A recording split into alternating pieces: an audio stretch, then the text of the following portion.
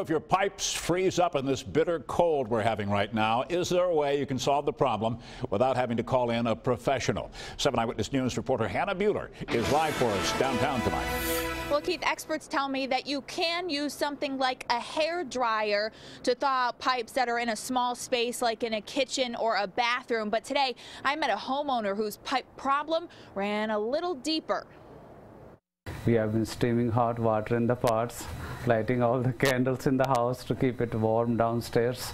Dr. Harsh Sharma knows firsthand what it's like to be living in the cold. He spent almost a week without heat after the pipes that heat the downstairs of his Amherst home froze. But instead of trying to thaw it out himself, he called the experts at Danforth, who have been very busy during this extreme cold, thawing pipes all over western New York. We have the resources, we know what is supposed to be done. Experts use professional electrical equipment similar to a car jumper cable to get the water flowing. All right, and you just go back, then you turn it on, and what it does is generates heat on these cables, and it will heat the pipe together. And with the flip of a switch,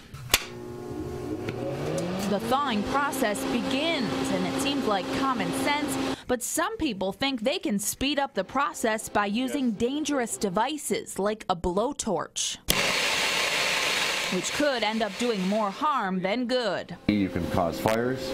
B, you can split the pipe by thawing it too quickly.